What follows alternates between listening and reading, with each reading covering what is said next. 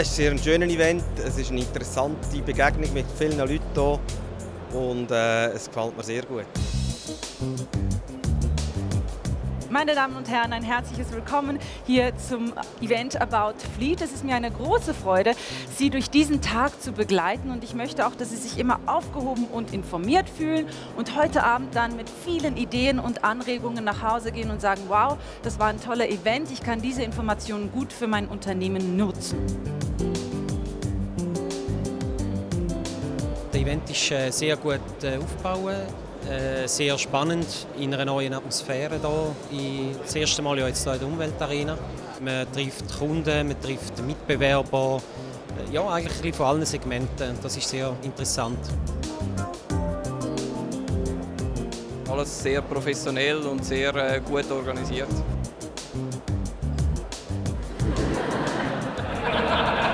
Also Herr Belli, Cavallo Libero, wie muss man sich das vorstellen? Wie ist das gekommen?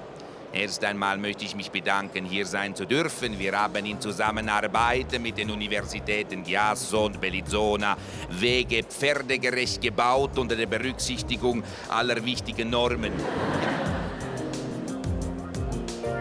Der Event führt, ist ja das, mal das erste Mal in Spreitenbach durchgeführt worden. Vorne war es an anderen Orten. Und äh, ich finde es sehr interessant, auch mit der ganzen Location, mit dem Thema Umwelt, äh, umweltfreundliche Fahrzeuge und andere Techniken, die unterstützen. Und äh, es ist genial, es hat sehr viele Leute da. Gute, interessante Referate und halt vor allem auch alle Autoimporteure. Was bringt es für Vorteile, jetzt so einen Stand an diesem Event? Wir treffen alle wichtigen Entscheidungsträger im Flottenbereich an einem Tag am gleichen Ort und äh, das spart natürlich uns sehr viel Zeit und auch den Fleet Manager eigentlich sich zu informieren und sich zu austauschen.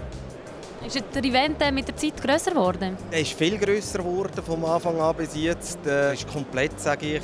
Es sind alle wichtigen Zulieferer da und auch von den Autoherstellern und Importeuren ist eine grosse Anzahl dabei.